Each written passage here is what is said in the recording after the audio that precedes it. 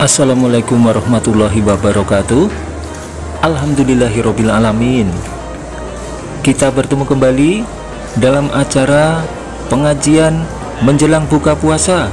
Kali ini adalah Jumat yang kedua bertempat di Masjid Al-Falah Pirak Mertosutan Sidoluhur Gudian Sleman atau di Komplek SMP Muhammadiyah 1 Gudian. Ikuti kami ya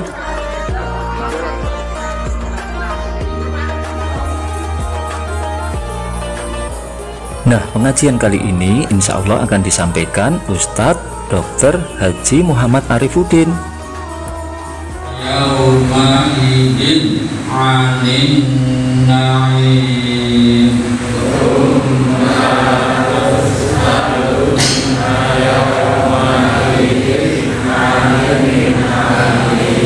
Bismillahirrahmanirrahim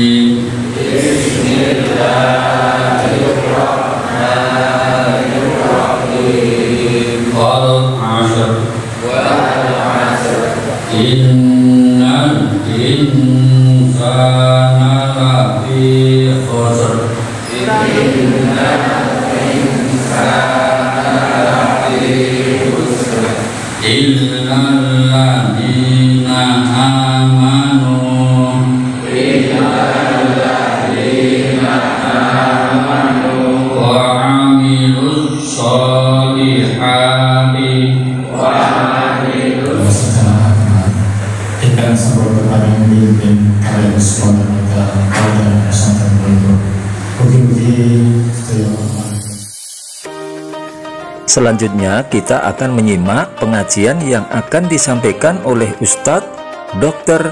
Haji Muhammad Arifuddin. Mari kita simak bersama. sifati puasa itu dengan sebutan wijaun tameng perisai yang namanya puasa itu membentengi kita dari perbuatan yang mungkar perbuatan yang fahsya ucapan-ucapan yang tidak baik perbuatan-perbuatan yang mungkar yang menyelisihi aturan dari Allah Subhanahu wa taala. Maka ketika seseorang itu kata Rasulullah SAW Man istata'a minkumul ba'a fal yatazawwaj. Barang siapa dari kalian itu mampu untuk menikah maka menikahlah ini untuk yang muda-muda ya Pak ya. Sampai satu jenengan. Dan jenengan tak pun menikah ini kata Rasul kalau untuk pemuda yang masyarakat sabar wahai pemuda man istata'a minkumul ba'ah falyatazawwaj. Barang siapa di antara kalian yang sudah mampu lek rabio tetapi kata Rasulullah SAW Faman lam nek durung mampu dereng gadai istita'ah fa'alaikum bisiyamin kalau mau nikah sudah kepengen tapi belum punya istita'ah maka kata Rasulullah coroni kosong. Kenapa? Oleh karena yang namanya kosong ini lakum wijaun akan jadi tameng atau perisai. Kita itu kalau mau puasa, mau maksiat itu nggak semangat bapak ibu. Oleh karena setan kata Rasulullah Shallallahu Alaihi Wasallam beliau bersabda Inna syaitana. Sesungguhnya setan itu Yanjari libni Adam majrodam Berjalan di tubuh manusia Lewat peredaran darah Padahal kita ini kalau puasa Cairan di tubuh kita ini kurang. Cairan di tubuh kita kurang sehingga pembuluh darahnya mengecil. Bukan kok mampet tapi mengecil. Sehingga kita ini mau maksiat sudah sudah nggak semangat duluan.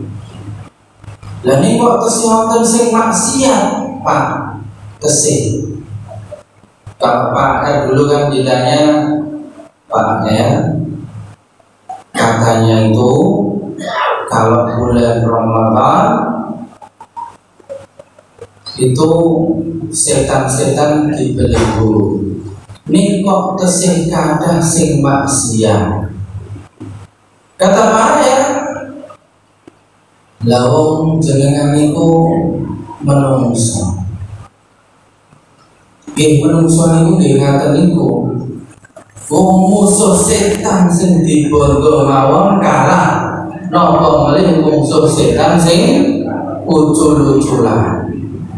Musuh setan sing dibondo mawon kalah.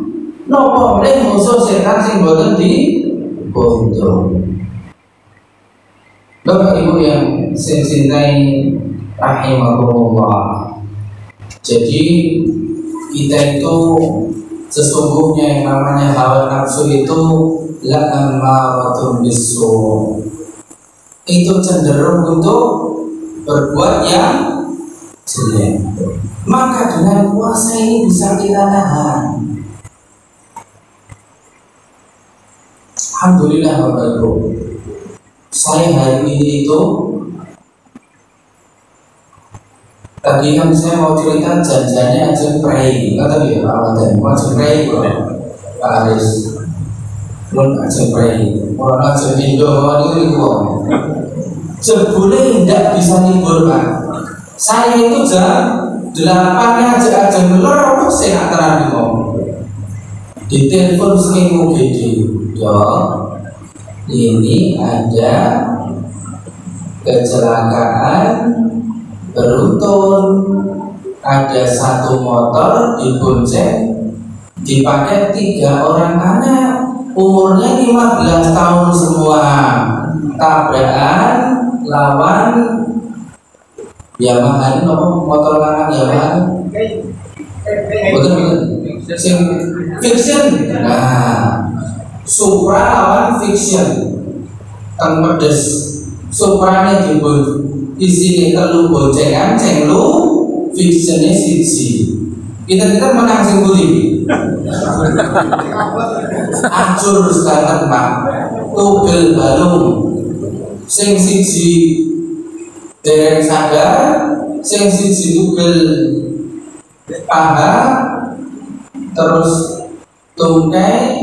Sing siji dengkulnya melicet tulang tempurungnya cuil sing siji sing fiction tangane iki saking mriki mriki mriki. Tugel alhamdulillah. Ya alhamdulillah Pak. Pengalaman kula niku nek adunge ten niku mesti wonten sing wassalamualaikum. Bar subuhan sadurunge subuhan. Nah ini ya memang aneh anak-anak muda kita itu. Mungkin saya dulu juga gitu mungkin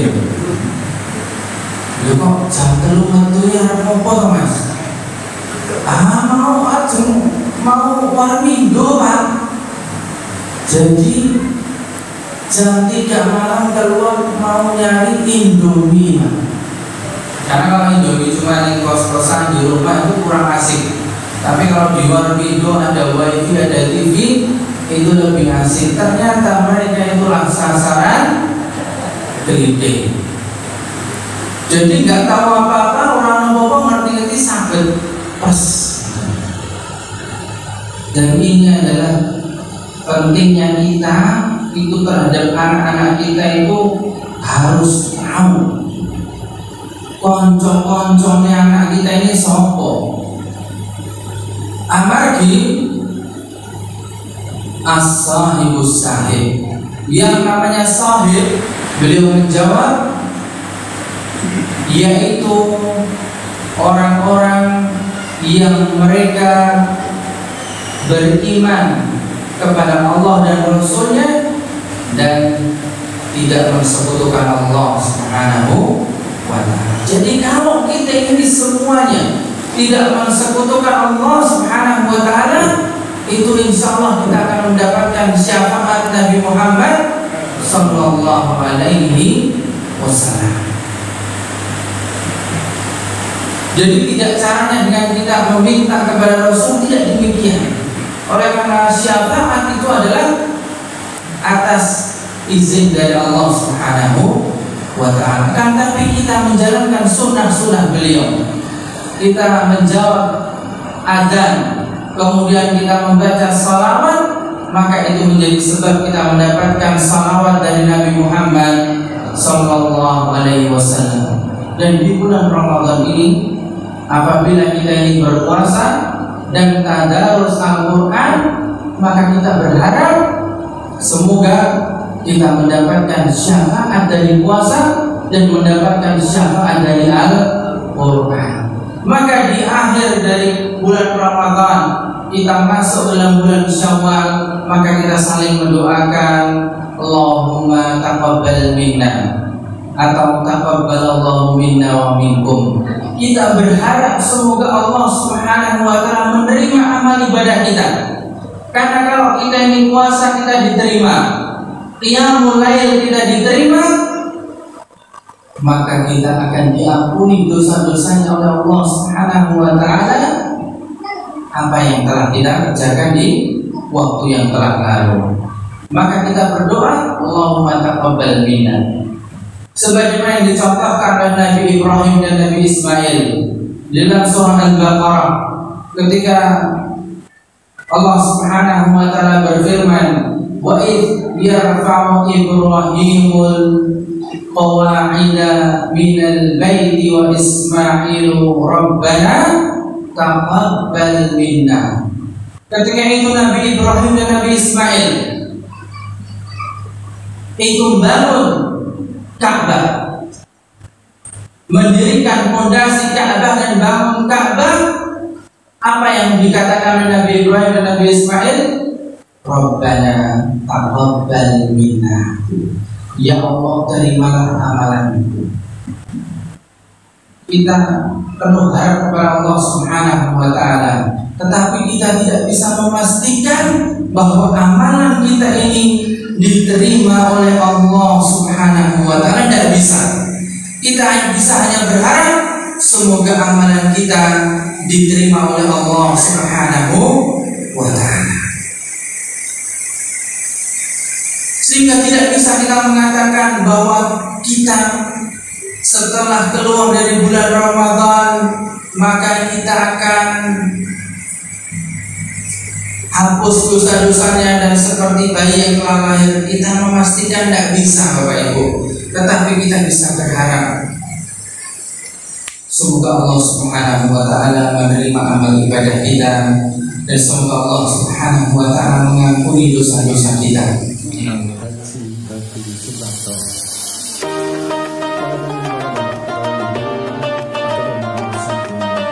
Demikian dulu kebersamaan kami dalam acara pengajian menjelang buka puasa Jumat yang kedua. Insya Allah kita berjumpa di Jumat ketiga yang akan datang.